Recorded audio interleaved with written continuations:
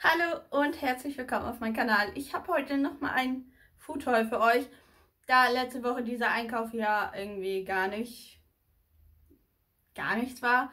Also gar nicht, gar nichts, aber ähm, war ja eher Vorrat und jetzt nicht so wirklich für den Alltag was. Deswegen war ich heute nochmal einkaufen und vorab möchte ich sagen, Negatives könnt ihr gerne schreiben, gerne ich bin da voll offen für. Aber wenn jemand einen Erwachsenen ähm, versucht zu sagen, was man zu tun oder zu lassen hat, finde ich echt und aus der Schublade, weil jeder soll so leben, wie er es möchte und wie er wie er leben möchte. Und ich sage ja auch, ich schreibe auch niemanden vor, du musst jetzt das machen und das machen, weil ich finde das scheiße. Oder äh, ich finde das so besser, wenn du das so machst. Nee, nö. So, und ich lasse mich nicht gehen. Ich war jetzt nur ein paar Wochen nicht beim Sport. Mein Gott, also äh, von vier Wochen nicht beim Sport. Sorry, aber ne, das ist immer noch meine Sache. Und wenn ich das zeitlich nicht schaffe, dann schaffe ich das zeitlich nicht. Und äh, da kann mir keiner sagen, was ich tun soll. Wenn gar, also, nee, sorry, das geht gar nicht. So. Ansonsten Negatives. Und auch wenn, ach so, wer jetzt kein Gelaber-Video sehen möchte, sondern einfach nur essen, sorry, ist auch an der falschen Stelle, denn ich rede auch gerne über meine Woche, über meinen Alltag und wie mein Leben so ist. Wen das nicht passt, gerne abschalten. Für alle, die das dann interessiert, für meine Lieben, die immer äh, meine Videos gucken, ihr bleibt gerne dran. Alle anderen können gerne abschalten, die einfach nur Essen sehen wollen. Das ist nicht mein Kanal. Ich rede auch ziemlich gerne über mein Leben, deswegen tut mir leid, denn äh, seid ihr hier an der falschen Adresse. So, wir fangen jetzt an. Ähm, es gibt drei Berliner, also zwei und ein gratis. Bei Lidl gerade, da habe ich welche mitgenommen. Einen hat der Kleine schon gegessen. Dann bei Penny durfte nur einmal Pommes mit, da sind die gerade im Angebot für 99 Cent. Deswegen durften die einmal mit, weil wir heute Burger essen also mein Freund und ich und die Kinder essen Spinat und Kartoffeln und Ei, so, weil wir nicht mehr so viel da haben und wir wollen die Reste jetzt irgendwie ein bisschen verwerten. Deswegen so und so. Ist ja nicht schlimm. Jeder isst das, was er gerne isst. So, dann äh, Brot habe ich einmal mitgenommen, dieses Weltmeisterbrot. Ja. Dafür 1,69 Euro. Genau. Dann drei Bananen mit. Ich glaube, für diese Woche reicht das. Wir haben ja heute schon Montag. Und ich habe noch ganz viel anderes Obst gekauft, deswegen das reicht, glaube ich. Ich habe einmal Kesselchips Barbecue mitgenommen. Ähm, ja. Die waren im Angebot für 1,29, glaube ich. Genau. Dann einmal Burgerbrot für 79 Cent gerade im Angebot. Dann habe ich hier noch so ein bisschen Spanisch oder ist das südamerikanisch? Nee, Spanisch. Oh, kommt sogar aus Madrid. Da wird mein Freund sich freuen. er kommt nämlich aus Madrid. Ähm, ich weiß aber nicht, was das ist. Ich glaube, das ist Brot. So, oder so ein Blätterteigzeug. Keine Ahnung. Ich kann kein Spanisch. Ich verstehe nicht so viel. Ähm, einmal die beiden habe ich mitgenommen. Das eine ist Chili. Okay, das kann ich noch lesen. Und das andere weiß ich nicht, da ist so eine Honigwabe drin, deswegen denke ich mal, ist das Honig. Vielleicht kann ja einer von euch Spanisch und äh, irgendwas steht da drauf. So, dann durfte einmal Backlam, Baklava mit, Baklava. Ähm, war reduziert auf 84 Cent. Und wisst ihr, was ich richtig schrecklich finde? Leute, also wenn 50% reduziert ist, dann nehme ich auch richtig gerne etwas mit. Aber ich lasse ein anderen Menschen auch noch was. Also ich nehme eine oder höchstens zwei, wenn extrem viel da ist, vielleicht auch noch drei Packungen mit. Aber ich lasse noch den anderen Menschen was übrig. Und mir ist das jetzt schon so, so oft aufgefallen. Heute auch wieder. Dass einfach eine Person den kompletten Einkaufswagen voll mit den reduzierten Sachen äh, einpackt und äh, den anderen überhaupt nichts mehr übrig lässt. Ich weiß nicht, ich finde sowas egoistisch und äh, wäre ich da Verkäuferin, ich glaube, ich würde etwas sagen, weil man muss es nicht übertreiben. Andere haben vielleicht auch nicht so viel Geld und kaufen sich das. Nicht, dass ich das jetzt haben möchte, um Gottes Willen. Aber ich finde das schrecklich, wenn man den Einkaufswagen einfach voll knallt mit allen Sachen, die da sind, ob man die braucht oder nicht. Ähm, ich war auch, das ist schon ein paar Wochen her, da war ich morgens bei Lidl, montags und montags ist bei Lidl immer alles reduziert. Also bei unserem Lidl. Ich glaube, das ist immer unterschiedlich. Und, ähm, ich muss mal meine Haare aufmachen. Und der, also ich weiß nicht, wie viele Menschen in dieser Familie leben. Das ist ja auch immer so ein Ding. Man weiß es nicht, wie viele. Aber der Einkaufswagen war einfach komplett voll mit Fleisch. Nur Fleisch da drin. Und ich kann mir nicht vorstellen, dass er eine 50-köpfige Familie zu Hause hat, die einen riesen Einkaufswagen voll mit äh, reduziertem Fleisch. Also, jeder kann darüber denken, wie er möchte. Ich finde es ein bisschen, naja, lass doch bitte ein bisschen was auch noch für die anderen da und kauf nicht alles. Also, ich finde das schrecklich. Ich finde es schrecklich. Aber gut. Ich weiß nicht. Bin jetzt nicht so zu so, also nee, weiß ich nicht. So, ich habe noch ein paar Kirschen gefunden für meine Kinder. Die waren auch reduziert auf 69 Cent oder so. Weiß ich nicht. Aber so ein paar Kirschen gab es denn. Ich kaufe lieber denn jeden Tag frisch, weil die äh, gammeln schnell. Dann habe ich einmal Tacos noch mitgebracht, weil das essen wir, wenn zum Beispiel morgen gibt es Bolognese und wenn da noch was übrig bleibt, dann hauen wir da noch Mais und so ein Kram rein. Und dann essen wir halt eben am nächsten Tag Tacos. Resteverwertung. So, ich habe noch zweimal Mehl mitgebracht und ich muss sagen, ähm, ich glaube, Mehl reicht jetzt bei uns. Ich mache mal ein Video und zeige euch unseren Vorratsschrank. Da ist Mehl, Nudeln, war noch was drin, Zucker. Also jetzt nicht äh, spektakuläre Sachen drin, sondern einfach nur die Grundnahrungsmittel. Genau, aber äh, bei uns ist jetzt auch nicht mehr so, dass man sich nur zwei Pakete nehmen darf. Ich habe jetzt nur zwei, weil wir haben viel.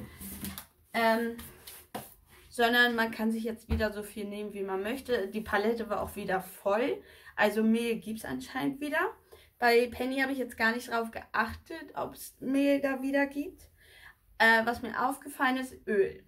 Also Öl gibt es immer noch nicht und es ist schon wieder teurer geworden. Und zwar kostet, ihr kennt bestimmt alle von Tomi, dieses Öl, Sonnenblumenöl in der Glasflasche. Hatte mal 5 Euro gekostet, wo ich mich noch mit meiner Oma unterhalten hatte. Und jetzt habe ich gesehen, im Angebot, reduziert, 5,99.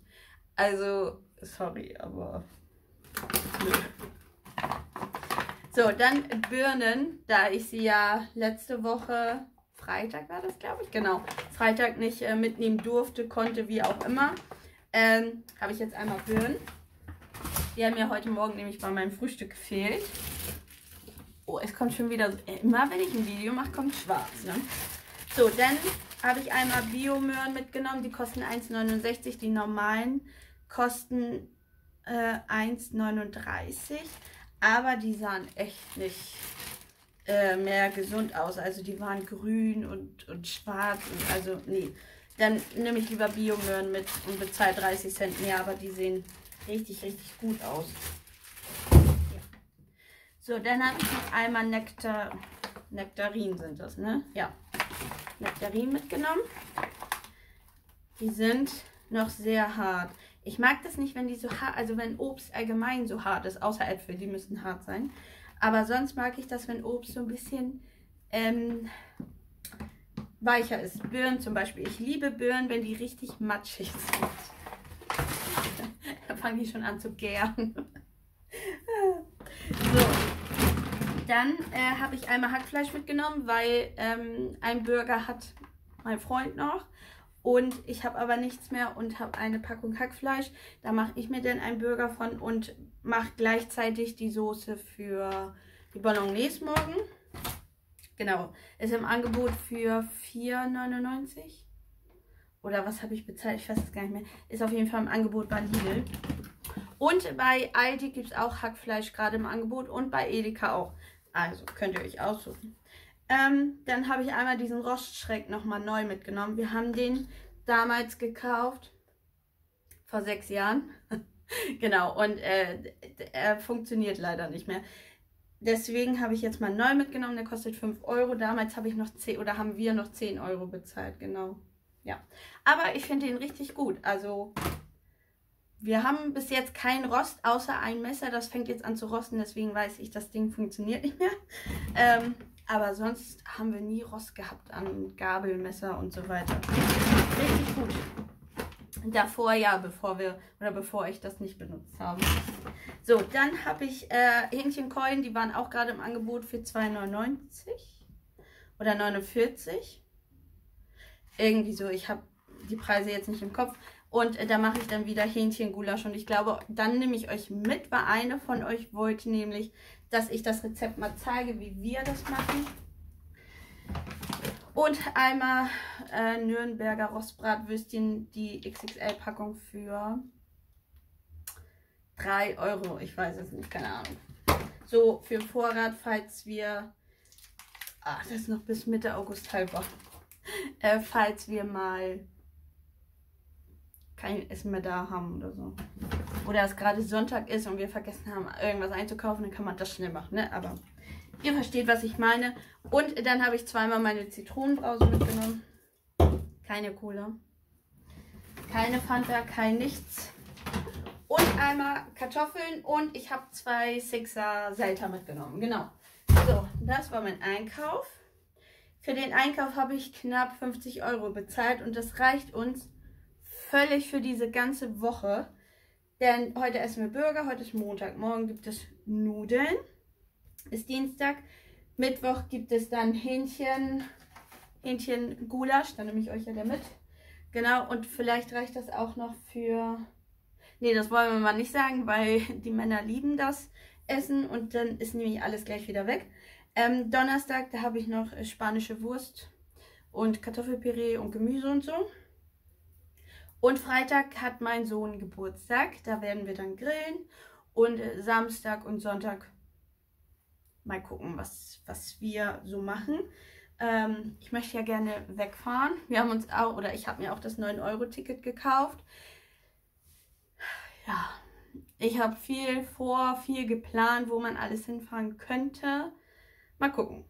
Die Kinder oder mein Kleiner hat sich sehr, sehr gefreut, endlich Zug fahren und Bus fahren. Das habe ich sonst nicht gemacht. Ähm, ja, aber er hat sich gefreut, hat auch gleich seine Freunde gefunden, die sind dann auch mitgefahren. Und äh, dann waren wir an der Ost, also wir nicht an der Ostsee, aber äh, seine Freunde. Wir sind aber in die gleiche Richtung gefahren. Genau. So. Ähm, wollte ich euch noch was erzählen? Nein, ich glaube nicht. Ich habe jetzt noch ein bisschen was zu tun. Es ist halb fünf. Ich muss eure Bestellung jetzt noch machen. Räumen diese Sachen weg und dann äh, muss ich auch schon das Essen für die Kinder machen. Genau. Und äh, wir Erwachsenen, also ich und mein Freund, wir essen immer später, weil er ziemlich, ziemlich lange arbeitet momentan. Bis spät abends und dann äh, essen wir zusammen. Aber ich bin natürlich bei den Kindern dabei, setze mich dahin, trinke meinen Kaffee oder ähm, keine Ahnung, ich sitze auf jeden Fall mit den Kindern zusammen, dass sie nicht alleine essen müssen. Das finde ich nämlich immer ein bisschen traurig, ähm, wenn Kinder so sich ihr Essen selber nehmen müssen und dann oder selber machen müssen und sitzen dann da alleine. Das mag ich nicht. Ich mache meinen Kindern immer was zu essen, außer der Große.